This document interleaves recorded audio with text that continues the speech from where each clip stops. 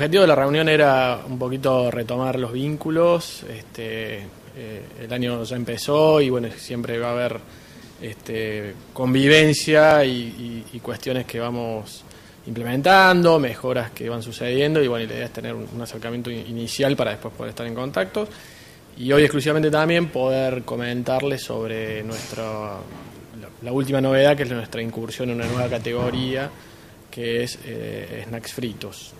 Este, y bueno, en función de eso también nos visitó gente de Buenos Aires que nos acompañan este, y nuestra gerencia de planta, así que bueno, un poquito era abrir las puertas y retomar estos contactos. Bueno, y un poco que nos cuentes esta nueva línea. Bueno, este, un poco lo que te contábamos antes, este, el grupo siempre está viendo nuevos negocios, este, invierte en la Argentina, desarrolla nuevos mercados y vimos como una oportunidad de negocio dentro de lo que es este, la categoría de, copetín o snack fritos y ahí es donde justamente el grupo viene trabajando en los últimos dos años y medio, tres años. Hoy es una realidad, hoy estamos en el mercado con un portfolio nuevo de producto bajo la marca Saladix para competir justamente en este segmento de este, snack fritos con un portfolio nuevo, diferente a lo que hoy tenemos este, actualmente. Bueno, quienes hemos seguido de cerca el crecimiento de esta planta, hoy vemos realmente que ha crecido eh, más del 100% a lo que se veía, ¿no? Sí, sí, de, manera importante. Y la verdad, en esto eh, voy a sumar un poquito más a lo que dice Gustavo.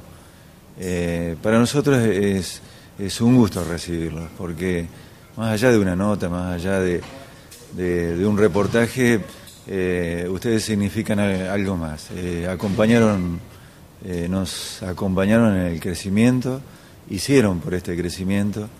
Este, así que hoy no era menos que los invitemos para que sepan cómo estamos evolucionando, evolucionando favorablemente, cómo estamos creciendo y por otro lado, este, de la mano de incursionar en un producto que no teníamos en, el portfolio de, nuestros productos. O sea que, como les decía recién, este, de alguna manera en el final de la presentación están siendo parte también ustedes de una historia, porque esto recién comienza, así que en este producto, no todo lo que es snack frito.